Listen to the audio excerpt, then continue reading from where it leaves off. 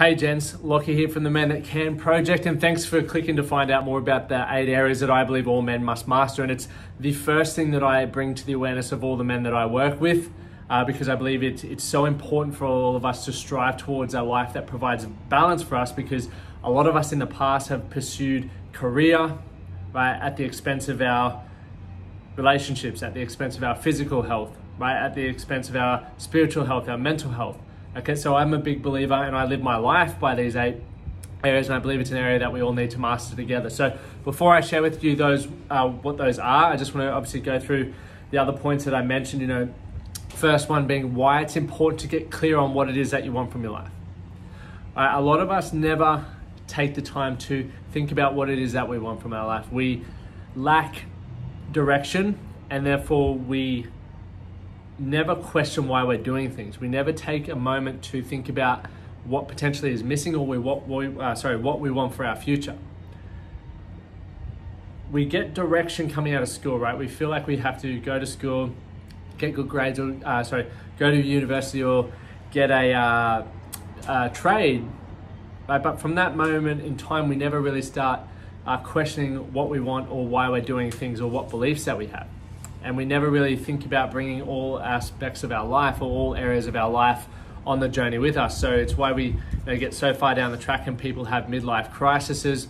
Uh, they you know hit goals that they thought would uh, bring them all you know happiness and success and all these things, but they still feel unfulfilled. And it's because we neglect these areas that that happens. And I'm fortunate to work with uh, men from all walks of life who you know have different success in different uh, areas of their life, and you know because they haven't mastered these eight areas or even thought about these eight areas, there's still that uh, sense of unfulfillment. So we won't carry on too much more about that, but it's really important to think about what you want from your life because then you can think about uh, the eight areas which I'll share with you in a moment.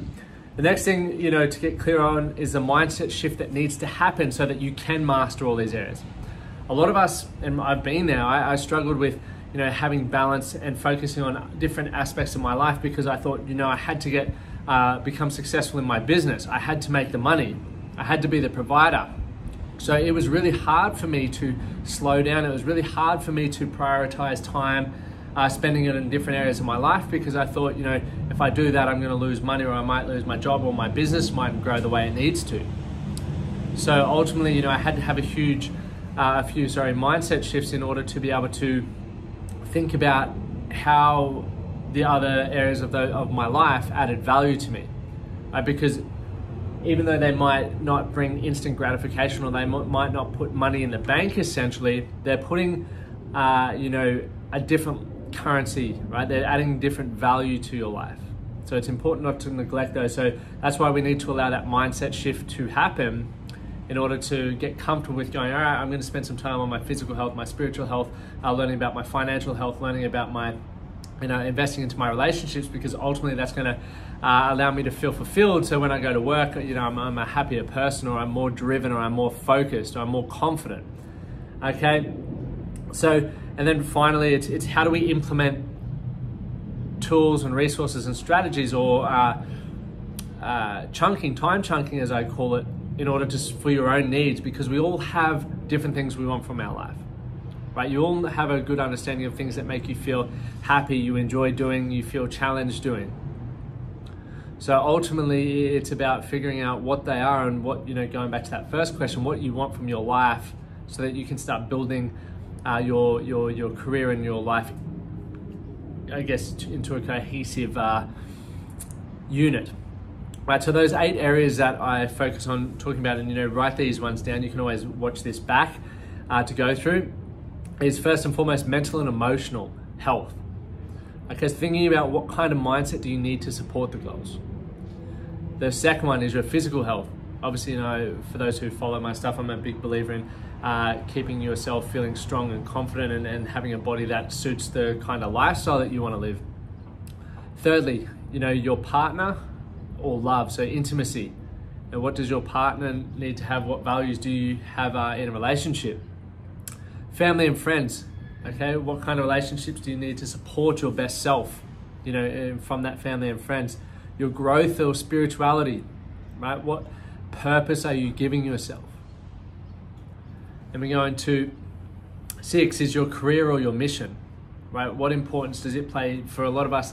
It takes up most of our week, you know, it takes up 38 plus hours, right? And it takes up a lot of our thinking. It causes a lot of the stress in our life. So it's how do we balance that out and make sure we get to focus on these other areas as well. Uh, seventh is finances. You know, what's your number? What do you need to live the quality of life that you want? Okay, and then lifestyle. How do you want your days to be? Or even your weeks? Like, do you want to prioritize these other areas of your life? And for me, it's something that I bang on about all the time because if we neglect areas of these life, there's going to be a point in time where it catches up with us, where we realize that we shouldn't have neglected it. And a lot of us really never give it thought until it's too late.